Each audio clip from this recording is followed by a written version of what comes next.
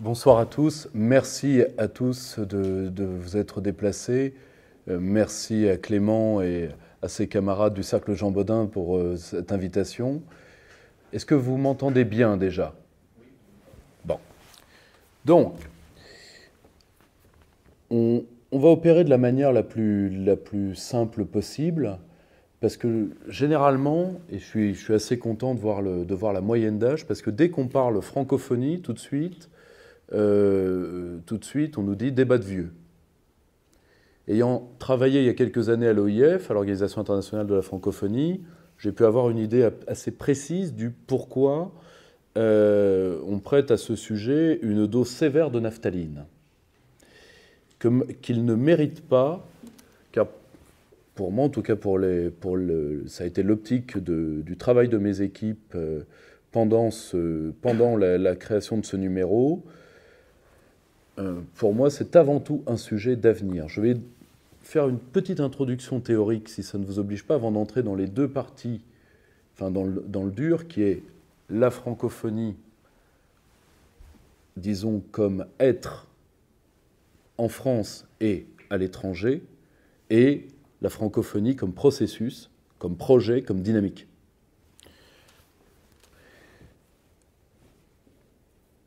Il faut que vous compreniez deux choses. On va, euh, on va liquider les querelles de vocabulaire très vite. Vous avez la francophonie euh, non, euh, enfin la francophonie avec dite avec un petit f, la francophonie avec un grand f, donc c'est le fait d'être francophone. Et la francophonie, dès que vous lui mettez une majuscule, c'est la francophonie dite institutionnelle. Bon, ça c'est juste pour déblayer un tout petit peu les, les questions autour du sujet.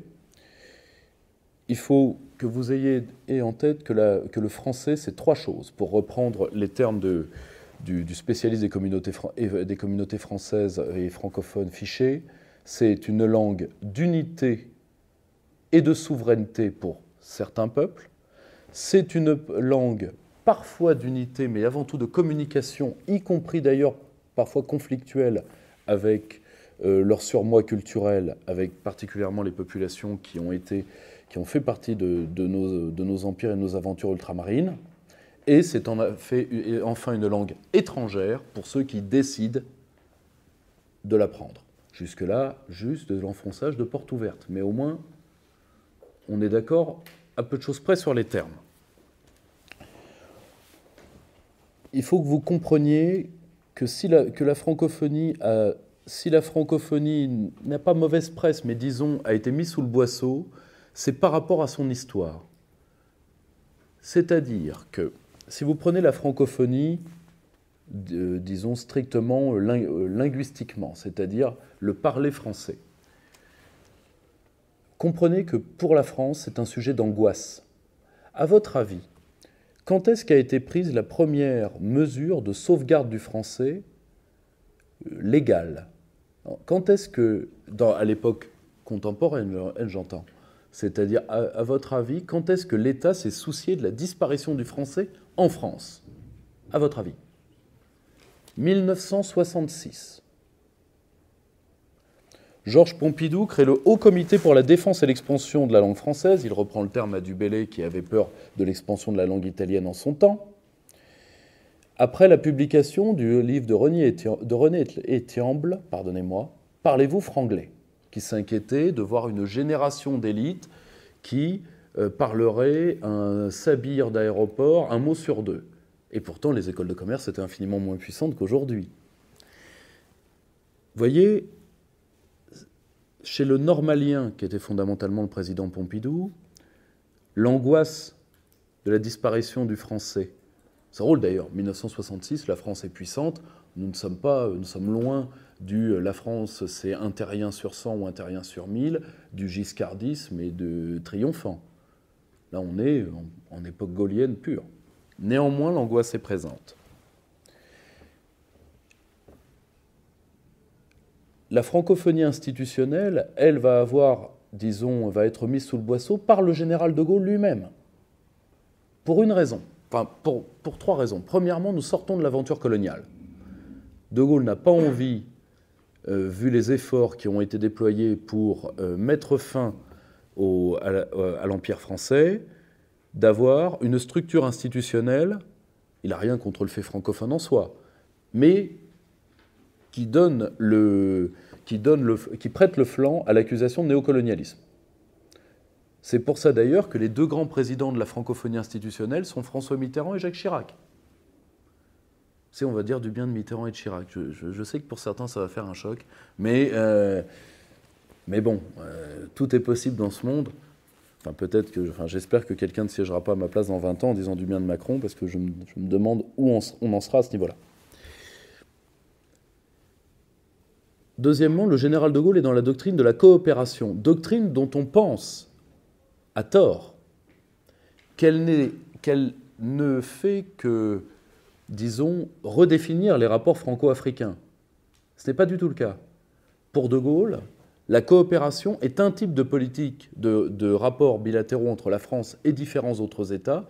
Je vous renvoie une, une lecture assez intéressante qui est le rapport Jeannet sur la coopération, qui fait comme objectif majeur de la France dans l'aide au développement l'Amérique latine, comme axe majeur de la coopération gaulienne. Donc si vous voulez, ce n'est pas, ce ne s'applique pas qu'au cas africain. Et dernier point, le général de Gaulle est beaucoup plus préoccupé, et ça il faut le reconnaître, par euh, le fait de rebâtir la grandeur de la France et de l'État français, et d'avoir ensuite arrivé à un degré d'accumulation de puissance suffisant des rapports bilatéraux. Alors beaucoup d'ailleurs euh, critiquent euh, aujourd'hui le général de Gaulle en disant que c'était un homme du 19e siècle vu qu'il ne croyait pas au multilatéral. Je pense qu'aujourd'hui, euh, vu ce que font les États émergents en accumulation de puissance, je pense que le, disons, le, l'aveu d'échec relatif du multilatéralisme est quand même largement prononcé. C'est pour ça que la francophonie va venir de, de nos anciennes colonies. N'oubliez jamais que les quatre pères de la francophonie sont Habib Bourguiba, Amani Diori, et un homme dont j'aime particulièrement euh, la, mémoire, euh, qui est un, grand monsieur, qui était le prince Sihanouk. Enfin, le roi Sihanouk. Et le dernier, celui qui était l'architecte technique des accords de la francophonie, est un Québécois, Jean-Marc Léger. Vous n'avez pas de français dans le lot. Aussi pour une raison. La haute, euh, la haute fonction publique française déteste la francophonie vous me direz, est-ce qu'elle déteste, est-ce déteste pas aussi la France et les Français et le français comme langue? C'est un débat qui mérite d'être posé, nous ne l'épuiserons pas ce soir. Mais le tropisme eurocratique est tellement fort dans la haute fonction publique française dès cette époque-là. N'oubliez jamais que l'une des phases des années 60, institutionnelle, c'est la véritable, euh, disons, guerre administrative que l'État français va devoir mener contre certains euh, transfuges eurocratiques de ce même État français. Je pense à des gens comme Robert Marjolin, enfin toute la clique qui a entouré M. Menet. Un clic euh, sur lequel, pour ceux qui aiment les ouvrages journalistiques mais relativement en bien fait, je vous renvoie à un ouvrage très récent qui a priori fait couler beaucoup d'encre, d'un ancien président du Conseil général de Vendée.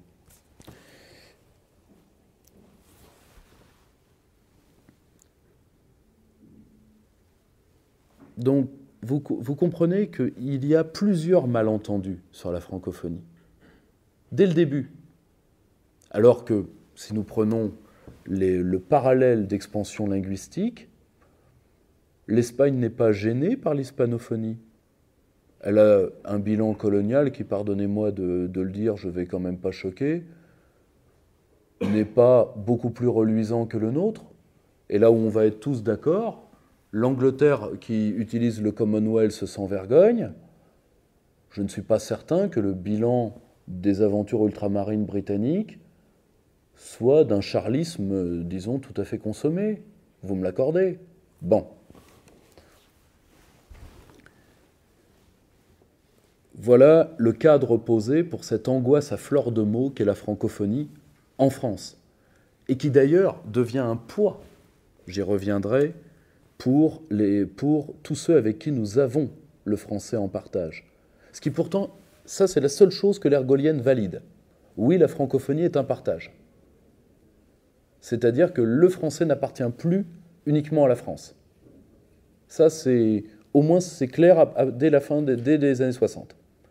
Mais tout le reste va être vaseux jusqu'à, il faut le reconnaître, François Mitterrand, qui décide de sortir la francophonie politique du placard, et Jacques Chirac, qui, je ne voudrais pas trop taper dessus pour ceux qui suivent l'actualité, les nouvelles de son état étant pas terribles, mais j'oublierai jamais une phrase de Régis Debray qui rachète beaucoup le Chirac à mes yeux. Ce n'est ou ce n'était, vu qu'aujourd'hui, les, disons, dans, un intermonde, ce n'est pas, pas un occidental comme les autres. Et ça, je pense que ce sera à mettre à son crédit. Même si, à titre personnel, j'ai un bilan assez amer du personnage. Mais pour la francophonie, on est obligé de le reconnaître. Donc, une fois ces amuse-bouches faits et digérés, on va passer, au dur, c'est-à-dire premièrement la langue française, ce qui est le volet partage, et ensuite le volet processus. Soyons euh, clairs, euh, vous et moi. Il y a deux manières de voir la géopolitique des langues. Soit vous avez euh, en, histoire des idées, c'est assez clair. Soit vous, avez euh, vous avez les deux côtés du mythe de Babel. Vous connaissez tous, hein, la multiplicité des langues est une punition divine. Bon, on ne va pas épiloguer là-dessus. Mais c'est un mythe à deux faces. C'est-à-dire, est-ce que l'humanité n'est-elle pas plus belle quand, justement, elle a été punie, et qu'il y a donc plusieurs langues, ou ne faut-il pas recréer une langue d'empire, c'est-à-dire une langue qui porte l'humanité, quelle que soit la définition qu'on donne à ce terme. Ça a été le latin à une époque. Aujourd'hui, c'est non l'anglais, contrairement à ce qu'on entend souvent, mais le globish, c'est-à-dire 200 mots sortis de la langue anglaise et qui provoquent d'ailleurs linguistiquement la décomposition de la langue britannique.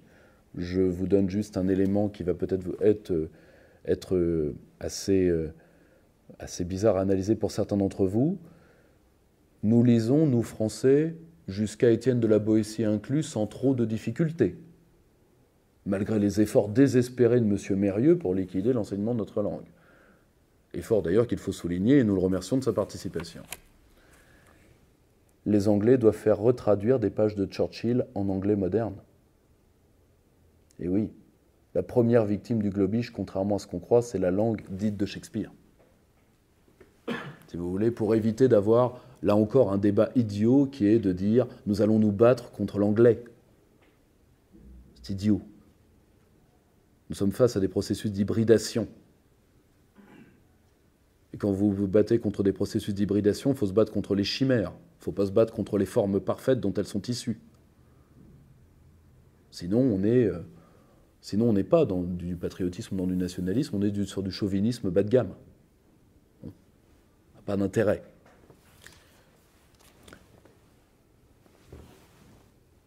À titre personnel, alors ça va surprendre personne pour ceux qui voient à peu près ce que font mes équipes, je prends justement ce parti, disons, babélien, que qui d'ailleurs a été magnifiquement illustré dans, un des articles que nous avons, que Frédéric Mathieu, qui n'est pas présent ce soir et qui est un jeune et brillant philosophe, nous a, nous a offert à travers, bon, il étudie particulièrement la pensée d'Humboldt, donc penseur allemand. Il dit que la pluralité du fait national et la pluralité du, et du fait linguistique vont ensemble. Pourquoi? Parce que qu'est-ce qu'une langue? Une langue, c'est un esprit qui parle à travers vous. C'est une expérience du monde, une sédimentation de l'expérience de vos pères qui ressort sur la forme du langage. Et ce qui vous explique que des hommes dont on ne peut pas accuser l'humanisme, je pense à Claude Lévi-Strauss, grand génie s'il en fut, aient refusé, le, euh, si vous voulez, l'uniformisation langagière, car à chaque langue qui disparaît, Dieu sait combien de langues sont menacées aujourd'hui, c'est une expérience humaine qui disparaît avec. Et c'est donc une humanité plus pauvre qui en résulte. Ça, c'est pour éviter, si vous voulez, tous les débats sur le inclusif.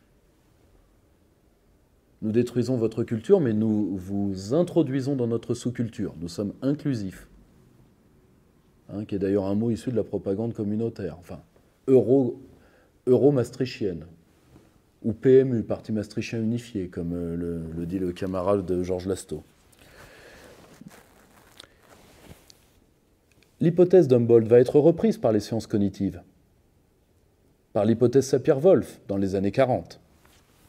Et aujourd'hui, d'ailleurs, est toujours quelque chose d'enseigné, de relativisé, mais toujours de, de, de, présent sur, disons, sur les, les, études du langage. À vrai dire, et ça là encore, porte ouverte, le contrôle du langage est une obsession des régimes qui veulent, euh, si vous voulez, réécrire la pensée, ce n'est pas pour rien, y compris le nôtre, qui est d'ailleurs un régime beaucoup plus efficace vu qu'il veut réécrire votre pensée pour votre bien. Je ne dis pas que c'est bien ou c'est mal, je dis que je vis dans une démocratie libérale qui a cinq lois régissant la liberté d'expression hors fake news. Ça fait beaucoup pour un État libre. Vous dites non Quand même. Bon. Le...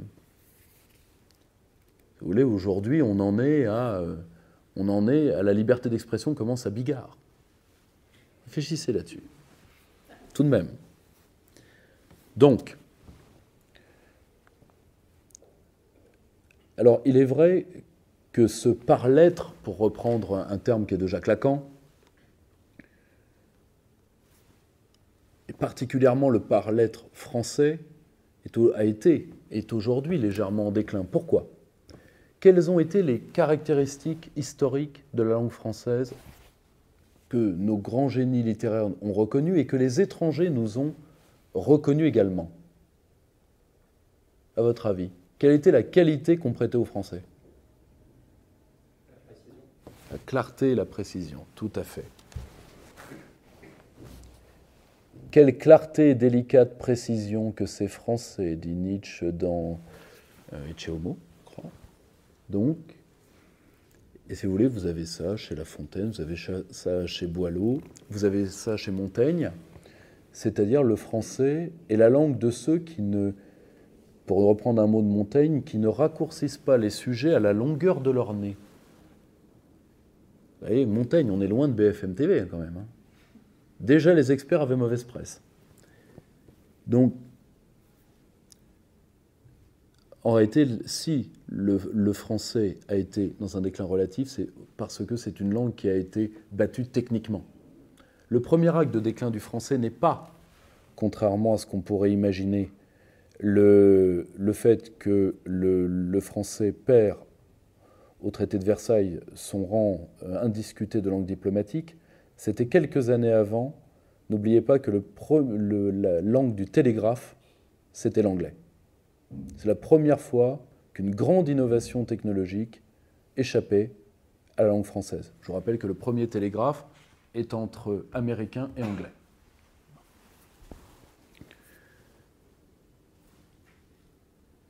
Et depuis, par ce, par ce phénomène, disons, totalement, euh, disons, évident quand on, est, quand on est français, mais qui, c'est drôle, n'éveille absolument pas la curiosité de nos essayistes, aussitôt que le français n'a plus été flamboyant, l'élite française s'en est détournée. Car aujourd'hui, les premiers agents de défrancisation, ce n'est pas l'immigration, ce n'est pas la mondialisation, c'est la francophobie d'une large part de l'élite française elle-même. Vous donner un exemple très précis, le nombre de grands groupes français où on ne tient ses réunions qu'en anglais, il n'y a plus que quelques syndicats pour hurler dessus, face à un public 100% francophone, au mépris de l'efficacité entrepreneuriale elle-même. Parce qu'en plus, ce n'est même pas du bon anglais dans lequel vous travaillez. Moi, je peux vous dire, je travaille dans une institution qui est à 73% exactement de texte anglais pour 18 de français, qui est les institutions européennes. on ne me fera pas croire que l'anglais fait travailler des gens de langues différentes mieux. Parce que souvent, ce que vous avez en face de vous, c'est du Google Trad, du finnois qui passe au danois, qui passe à l'allemand, qui passe à l'anglais. Pour terminer dans du volapuc intégré, comme disait le grand ancêtre. Donc, c'est là où on voit que derrière la défense de la France est encore un coup. Derrière la défense du français se joue beaucoup plus que la défense de la France et du français. Se joue même d'un certain côté la défense de l'être anglais ou anglo-saxon et de la pluralité des langues au monde. C'est un vrai combat, disons, anthropologique qui se porte. Et n'oubliez pas une chose, s'il y a une telle francophobie, je vais vous dire aussi pourquoi. Et c'est drôle d'ailleurs de faire cette conférence au moment où euh, il y a en France encore un mouvement social de grande ampleur. Il n'y a pas quelque chose qui vous a choqué dans ce mouvement social? La qualité de français de ces slogans, ça ne vous a pas choqué? Ils sont doués, hein? Ils sont doués pour ça et pour l'utilisation, euh, disons, euh, exotique de transpalettes. Mais ils sont. Comprenez que la langue française est une langue, parce que c'est une langue du, persiflage et de la clarté, c'est une langue qui ne permet pas à une élite d'avoir une sorte d'ésotérisme langagier qui le coupe de sa masse. D'où le fait, si vous voulez, pour une large part de l'élite française, de préférer avoir un, un anglais d'aéroport, parce qu'on va être très clair, c'est de l'anglais d'aéroport, à quelques exceptions individuelles près plutôt que de partager avec les locteux cette langue qu'ils détestent à l'image de la détestation qu'ils ont pour les locteux en question.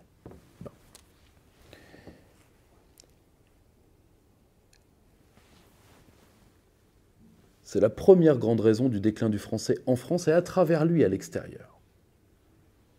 Parce que qu'on le veuille ou pas, la francophonie se fera peut-être sans la France, mais elle se fera pas contre la France. Faut pas non plus, on ne peut pas tirer la ficelle éternellement. Or, ce qu'il faut bien comprendre, c'est qu'en plus de, cette volonté du pouvoir, volonté inconsciente d'ailleurs largement, vous avez la pensée nasale des laquais du pouvoir. J'emprunte le terme pensée nasale à mon ami Baptiste Rapin. Finkelkraut disait euh, pensée de gramophone, pas loin c'est-à-dire la liquidation du langage par le stéréotype du journal télévisé, alors le pire, de l'alliance euh, de l'alliance mortelle de Routel Krief et de Cyril Hanouna. C'est-à-dire du divertissement débilisant et de la chaîne d'infos en continu, euh, si vous voulez, stérilisante. Revoyez une vieille vidéo de Brassens qui est en accès libre sur qui est très drôle où il parle de la disparition de la langue de Seth. Il disait Ma plus grande peur, c'est quand tout le monde parlera comme aux infos. Vous voyez ce que je veux dire? Et cette stérilisation, elle se fait sur quelle base? Sur la base du franglais et managérial. Moi, aujourd'hui, je, vois arriver dans, dans, mes conférences des gens qui sortent d'école de commerce, certains y enseignent, et ne sont plus capables d'avoir une phrase, d'avoir une conversation de 30 minutes sans un anglicisme toutes les deux minutes, dit d'ailleurs de manière totalement idiote. C'est juste, là on n'est pas dans l'hommage à la langue, on est juste, si vous voulez, dans la, pensée de poulet élevé en batterie. On se fait un lunch, ça commence comme ça, et puis à, la fin, ça devient des discours totalement... Moi j'ai eu le cas... Euh, j'ai eu le cas dans un truc quand même un peu sérieux, qui, était les, métaux rares, terres rares, un article écrit par un Français qui a dû être traduit en français par mes équipes et qui leur a, a donné plus de difficultés que les articles en anglais qu'ils se tapent à chaque numéro. Est-ce que vous trouvez ça normal? Et malheureusement, une large partie de nos équipes techniques en sont là aussi parce que nous avons, nous nous sommes restés arc-boutés sur le français langue de culture. Or, le français est une langue d'État c'est une langue de souveraineté. C'est les ordres du général de Gaulle à Bidault de faire du français une des langues de l'ONU. Et le français est une langue technique, mais de belle technique. Et donc doit être une langue d'innovation. malheureusement, nous avons des structures peut-être un tout petit peu trop vieillottes pour le faire. Je pense à l'Académie française particulièrement, qui au lieu de, de, se plonger dans les nouvelles technologies, vient de légaliser professeur, ambassadrice et autres. Bon, ce qui était pourquoi pas, euh, pourquoi pas utile, mais euh, c'est pas tout à fait un combat d'avant-garde.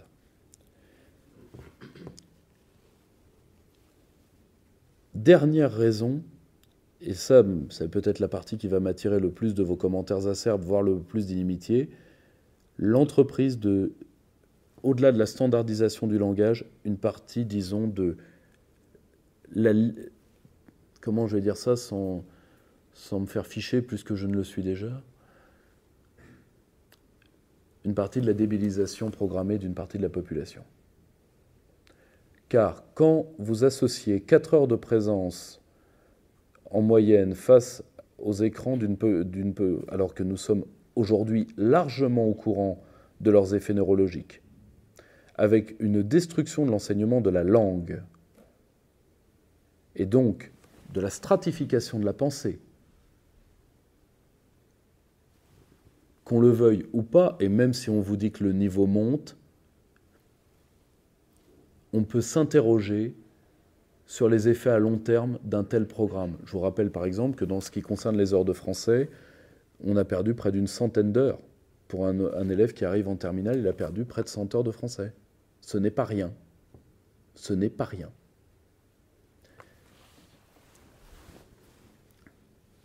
Sans compter qu'au-delà de qu'au-delà donc de cette subversion par le haut, vous avez une subversion par le bas, c'est-à-dire des masses d'immigrés plus ou moins assimilés, mais qui n'ont plus de toute façon le socle assimilationniste qui était quoi? Qui était le prolétariat français. Et comme ce prolétariat a été détruit symboliquement, comment vous voulez qu'il assimile quoi que ce soit? En plus, avec des masses qui ont été largement, disons, euh, dont le nombre n'a pas été contrôlé. Et dont aujourd'hui, c'est un, c'est un secret de polichinelle. On supporte dans beaucoup de villes, moi si vous voulez, je peux parler de la ville de Strasbourg, on supporte même d'un point de vue administratif l'utilisation de la langue d'origine. Pourquoi, pourquoi, pourquoi donc de, après aller parler et d'assimilation quand vous donnez des formulaires en turc C'est ce que, ce que j'ai vu. Il y en a certainement dans d'autres langues, malheureusement. Surtout que, les premiers que ça n'aide pas, c'est les populations immigrées elles-mêmes. Parce que ça les maintient dans un intermonde. Ni d'ici ni d'ailleurs.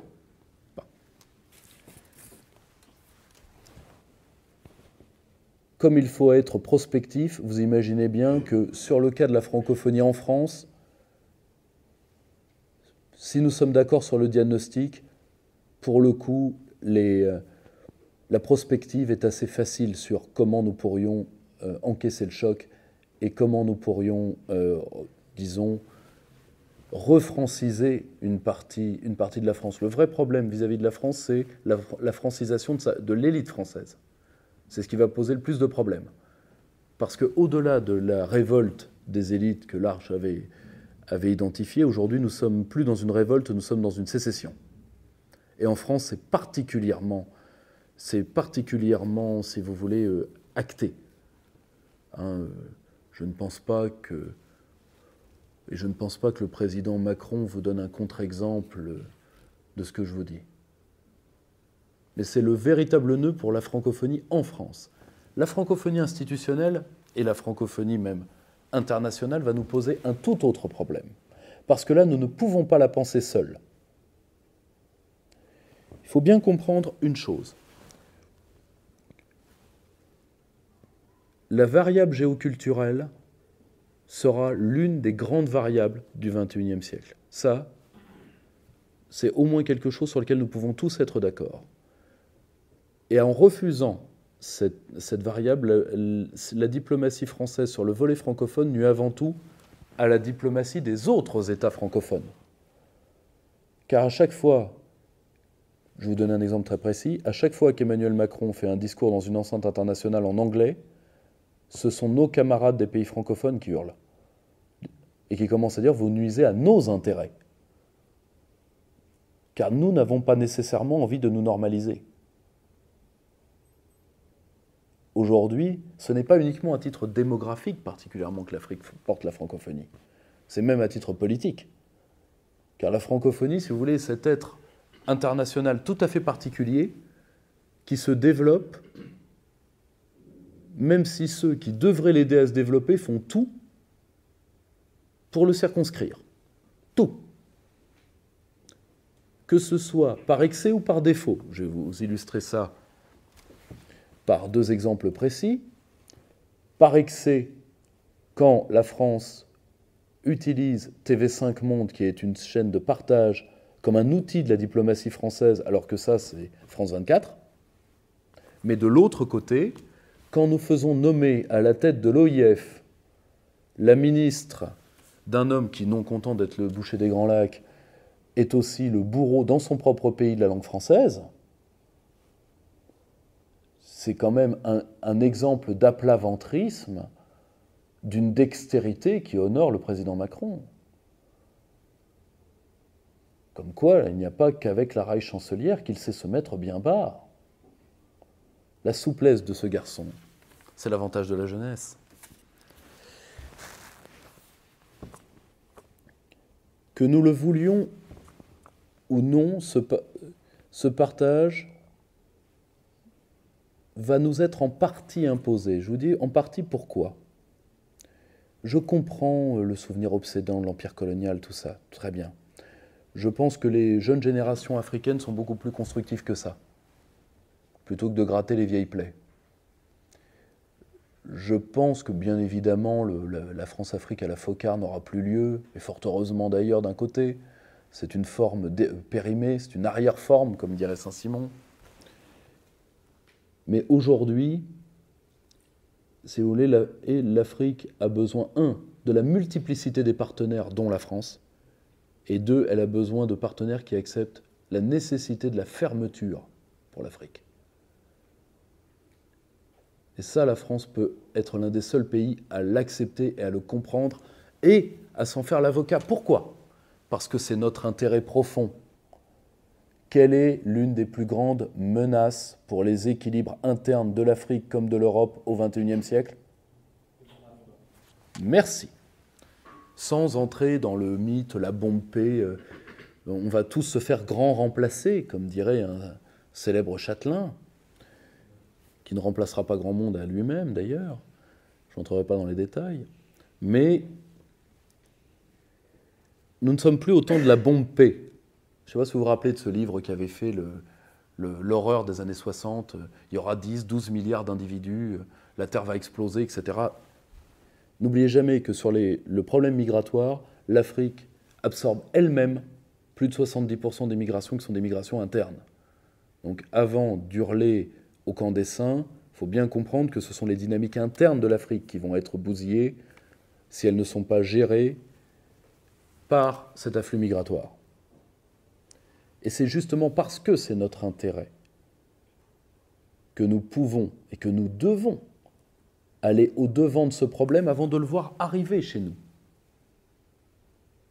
Par contre, par une optique diplomatique nouvelle, qui d'ailleurs ne peut pas transiter par l'organisation verticale et parisienne qu'est l'OIF. Aujourd'hui, il serait tout à fait normal que cette institution soit, disons, très largement dans les mains de l'Afrique. C'est elle qui porte le dynamisme. Mais, qui ne s'incarnera pas par une institution internationale verticale type guerre froide, qui sont des institutions périmées, sont des institutions mortes, à l'exception de l'ONU, que je veux bien, d'accord. Parce que l'ONU, on ne peut pas s'en passer. Mais tout le reste, elles sont dans le coma dépassé. Regardez ce qu'est aujourd'hui le FMI par rapport à ce qu'il a été, ce qu'est aujourd'hui la Banque mondiale par rapport à ce qu'elle a été. Il faut des organisations internationales horizontales, réticulaires, des réseaux de mobilisation, ce en quoi d'ailleurs la francophonie a une avance par rapport aux autres. Car à la base, la francophonie, c'est quoi? Ce sont des gouvernements du Sud qui demandent à Paris d'acter qu'il y a des réseaux de milliers d'associations francophones, dont aujourd'hui 70 dit ONG lourdes, qui se coalisent pour une action politique. Et croyez-moi, Paris est allé en traînant en les cas de fer, comme rarement la diplomatie française s'est fait tirer l'oreille. Donc,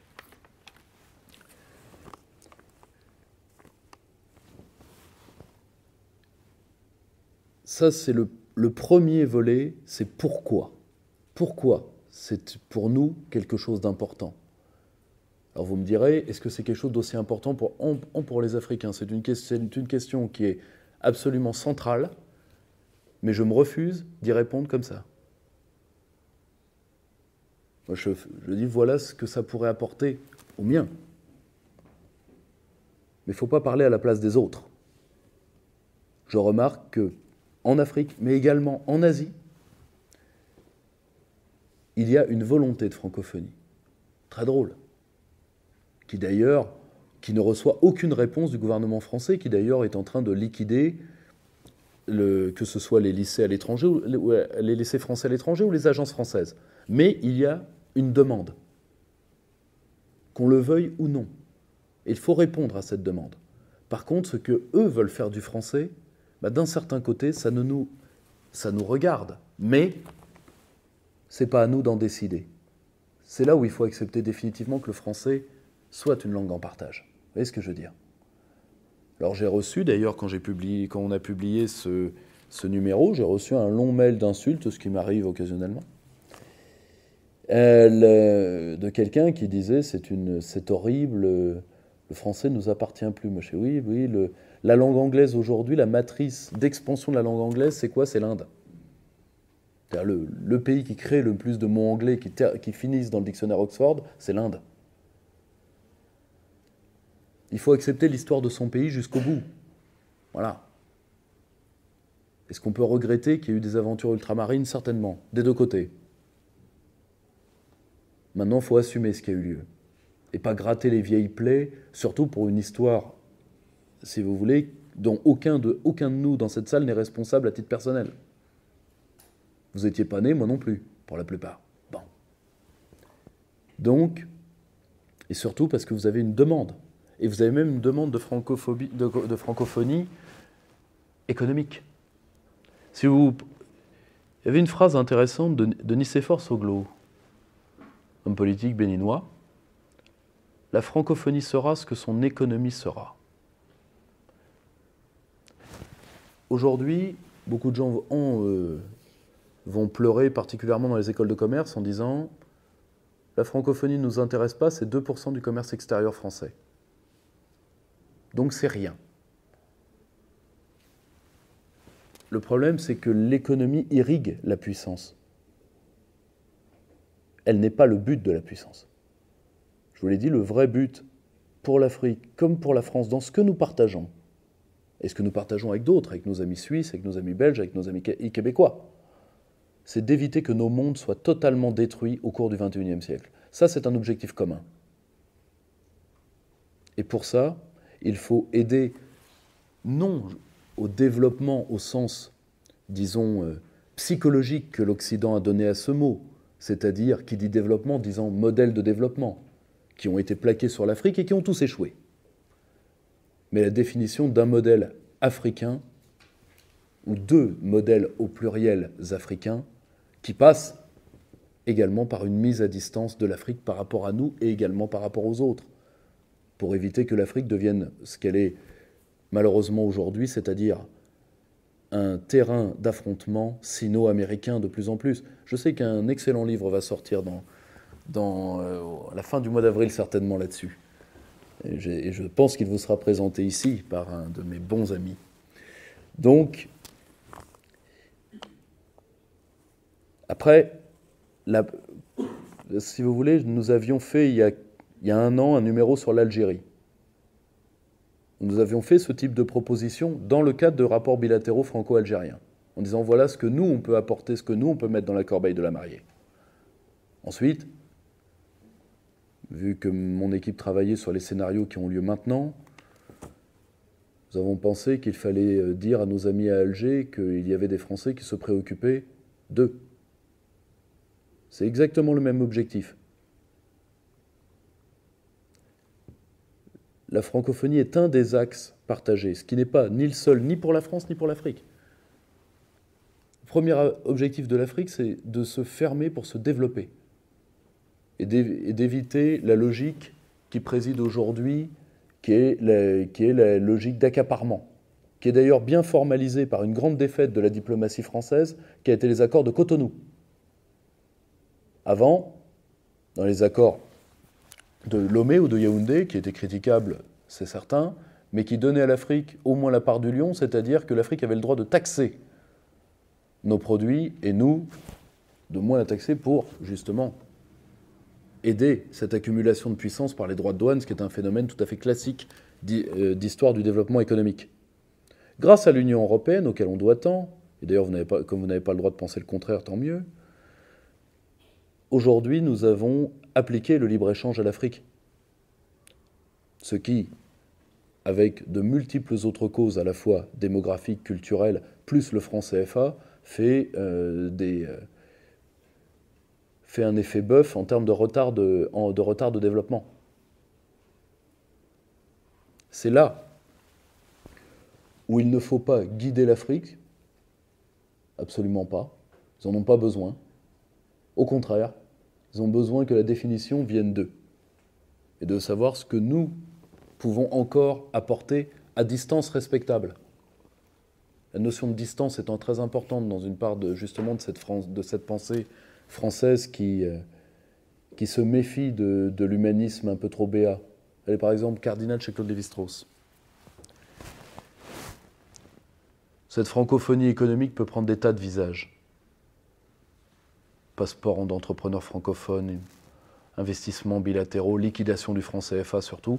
Je le dis d'autant plus que autant une partie de ce qu'on dit de mal sur le franc CFA est faux, autant le franc CFA reste une erreur énorme titre personnel, je suis l'éditeur du, du, plus vieil économiste opposant du franc CFA sur sol français.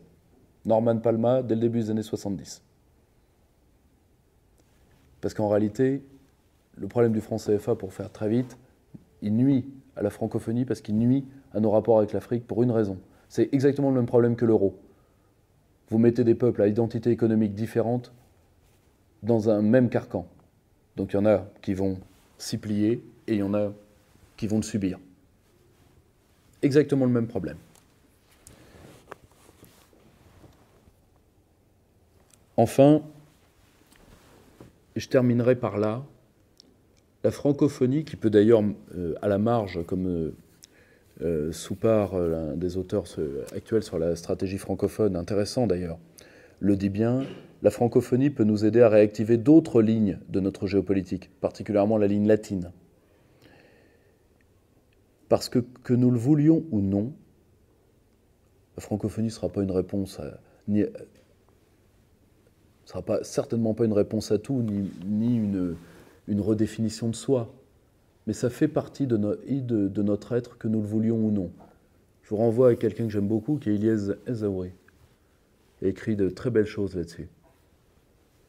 Et surtout, la France a besoin d'un horizon, car que, qu'on le veuille ou non, l'obsession européenne d'une partie des Français, de la totalité de l'élite française, ira droit dans le mur pour des raisons qui sont terribles. Avant, c'était des raisons politiques. Quand on leur disait ça ne marche pas, ça ne marche pas, l'Europe ça marche pas, l'euro ça marche pas. N'ont pas écouté. Très bien. Maintenant, ce n'est plus la politique qui va arbitrer les, destinées du continent européen, ce sont des horloges beaucoup plus mécaniques. Je pense à l'horloge démographique particulièrement. Et ça, personne n'y peut rien. D'où le fait que ben, des États prennent exemple sur les pays en développement et s'interrogent. Qui sommes-nous? Et quelle est notre politique profonde? L'Angleterre retourne au grand large, la Hongrie, qu'on aime, pas, euh, qu'on aime ou pas Monsieur, Orban, ce qui est mon cas, euh, eh bien, il a, il resolidifié l'axe Touran avec les Turcs Les Mongols. L'Espagne essaye de. Le problème de l'Espagne, c'est qu'elle exporte ses plaies internes. Bon, ça. Mais mon camarade Nicolas Klein a dû vous en parler et infiniment plus savamment que, je ne saurais le faire. mais l'Espagne regarde le jeu latino-américain. Qu'on le veuille ou pas, l'avenir de la France se fera, disons, en parallèle de l'Europe, mais alors l'avenir du français lui se fera directement en dehors. Qu'on le veuille ou non. Après, c'est une redéfinition globale que nous devons avoir au XXIe siècle pour pouvoir permettre à nos enfants de répondre à cette question qui avait fait un très beau livre d'ailleurs sur la francophonie, qui était un très beau livre de Paul-Marie Couteau qui s'appelait Être et parler français. Merci à tous.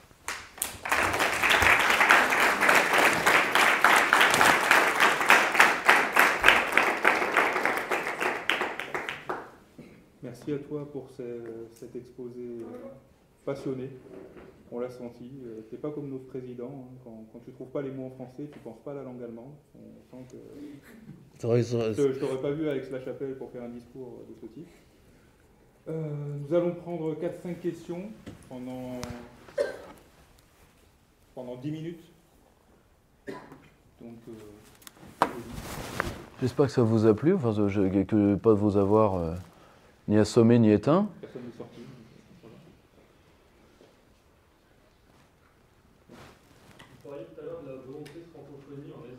Oui. Alors, je vais vous donner deux exemples très précis, parce que c'est un sujet que, que, je, que, je, connais bien. Vous avez par exemple deux pays, dont un qui, qui, qui est en conversion, alors ce qui est très drôle d'ailleurs, et ce qui est même inquiétant d'un certain côté, qui est en conversion à la fois au christianisme et à la francité. C'est la Corée du Sud. Et vous avez l'exemple japonais. Je vais vous donner un exemple très simple. 40, euh, plus de 5, euh, non attendez, que je sois clair sur les chiffres. 45 euh, à 55% des hommes d'affaires japonais prennent une seconde langue qui est à 90% l'anglais. Le problème, c'est que leurs femmes également, et elles, prennent à près de 80% le français. Parce que langue de culture et de civilisation.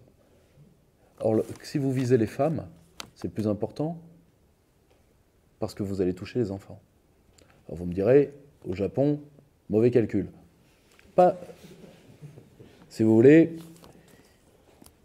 ça fonctionne en effet beaucoup mieux, encore mieux en Corée. Mais vous avez, vous avez une francophilie débordante en Corée du Sud. Débordante. Et d'un côté, pour avoir vécu, alors là par contre, beaucoup plus au sud, euh, vous savez, euh, la volonté de Français euh, dans un pays comme le Cambodge, vous feriez quelque chose, ça se rallumerait vite. Hein. Moi, j'ai vu, des cours de français se remplir comme ça. Hein. La seule chose qu'on ne les propose pas. Et après, on chiale. Alors que quand vous n'avez pas d'institut pour apprendre l'anglais, c'est l'église évangélique du coin qui vous donne les cours. Ça tombe bien, c'est le département d'État qui paye les deux. Donc, euh, bah, les deniers du culte, très cher. Mais un partir en mission, réclamer sa rétrocommission. Mais, si vous voulez, vous avez et je vais vous donner un autre exemple. Le président Macron en a été tellement stupéfait que certains disent, alors là par contre c'est une information à prendre au conditionnel, on sait qu'il a été stupéfait, mais il aurait eu un, geste presque de dégoût. Mais ça, c'est les, sources journalistiques ne concordent pas. En face de Xi Jinping, quand Xi Jinping lui a dit, mais comme beaucoup de dignitaires du Parti communiste chinois, je vais apprendre le français à mes enfants. Alors là, Macron, euh,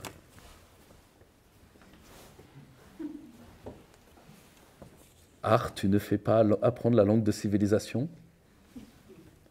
Si vous voulez, et aujourd'hui, vous avez quand même des, Ça, par contre, ça, je l'ai vu en Asie, vous avez une méfiance, par contre, de la francophonie institutionnelle. C'est-à-dire que la Corée, quand elle veut des bouquins en français, quand elle veut faire apprendre le français, elle se démerde sans en référer, alors, ni à l'OIF, ni à Paris. C'est quand même un signe ça dénote quand même quelque chose de malsain. Aussi au passage, pour vous dire que ça va presque jusqu'au sabotage, énormément de bibliothèques latino-américaines, nord-américaines ou africaines ont commandé des tonnes d'ouvrages en français qui ne sont jamais arrivés et qui sont dans les entrepôts liés à l'OIF. Alors, incompétence ou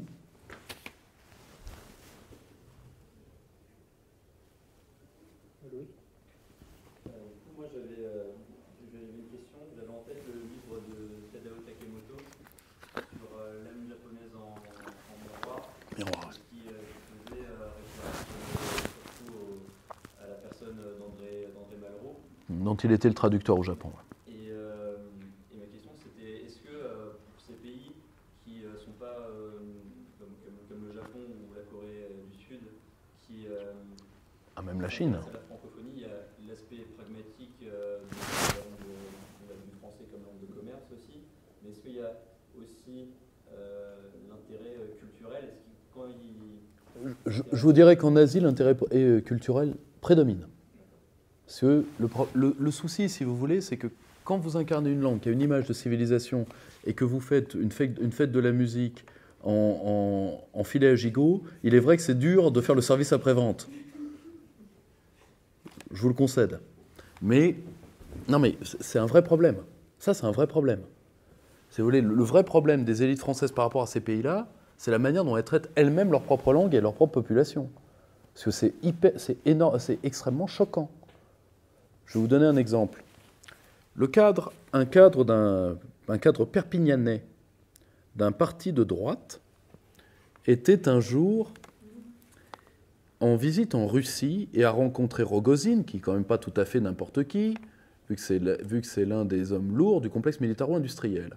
Qu'est-ce qu'il a fait? Pourtant, lui, parti de droite, voire même classé très à droite, il s'est mis à cracher sur quoi? Sur son propre pays. il a failli, en plus Rogozine est quelqu'un qui est francophile à un point radioactif, qui a fait ériger en partie sur ses deniers personnels la plus grande statue du général de Gaulle existante au monde, qui se trouve dans la ville de Moscou. Et le personnage a failli avoir un retour de bâton violent, mais violent à la russe, c'est-à-dire d'abord il vous menace et puis ensuite il vous en colle une parce que comme ils ont très mauvaise mémoire, ils ont peur d'oublier. Donc, Vous imaginez ce que c'est si ce serait Benoît Hamon, si déjà, du fin fond de la droite, vous ne pouvez pas vous empêcher quand vous êtes à l'étranger, ce qui est un minimum de correction. Parce que pour les autres nations, c'est-à-dire que c'est comme si vous, vous arriviez chez quelqu'un, vous crachez sur vos parents. C'est ignoble. C'est ignoble. Alors en Asie, je vous le dis tout de suite, c'est du pire effet. Mais du pire effet. Alors que, je donnais un exemple très précis, au Japon, l'actuel empereur, qui va se retirer, a reçu la leçon impériale des mains d'un étranger. Ce n'est jamais arrivé dans l'histoire du Japon. C'est André Malraux, à la demande de Kawabata, qui a la leçon impériale, c'est ce une sorte de cours qui dure une journée dans lequel le jeune empereur, avant qu'il se marie, qu'il devienne empereur, apprend l'art de gouverner. Théoriquement, c'est le plus grand érudit du Japon qui doit le faire. Et Kawabata avait dit il y a un homme plus érudit et qui aime plus le Japon que moi, il a accepté que ce soit un étranger pour un. Si vous voulez, ce qui me fait peur, c'est la décadence anthropologique, parce que quelque chose comme ce que je viens de vous raconter, pour un japonais, c'est quelque chose d'extrêmement important. 90% de l'élite française serait un foutu de comprendre ça. Et moi, mon problème est là. Parce que si vous voulez, de, dire que la France a une, une civilisation euh, extraordinaire, je pense que ça va on a un ou deux arguments à travers. Euh, hein, Au-delà de Marguerite Duras et de Christine Angot.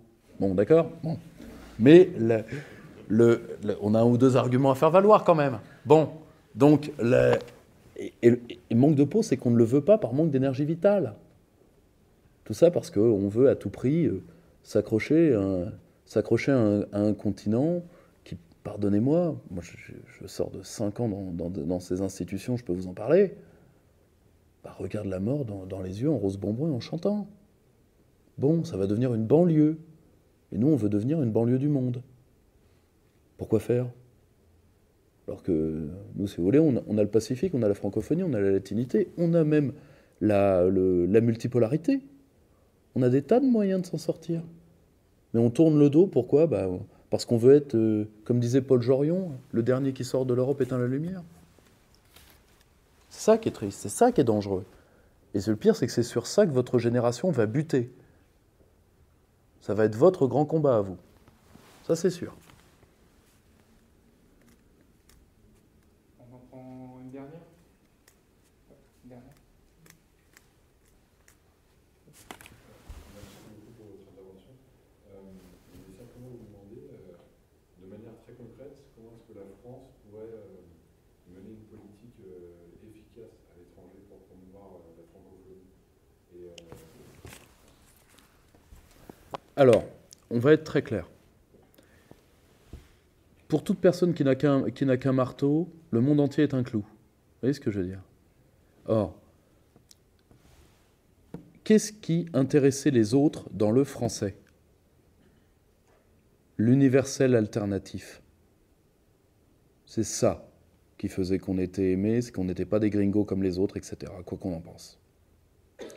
Ça s'est amoindri au fur et à mesure que nous sommes devenus de bons élèves de la classe européenne et occidentale. Vous n'imaginez pas le mal pour des décennies qu'a fait, qu'ont fait les néoconservateurs du Quai d'Orsay en Syrie et en Libye.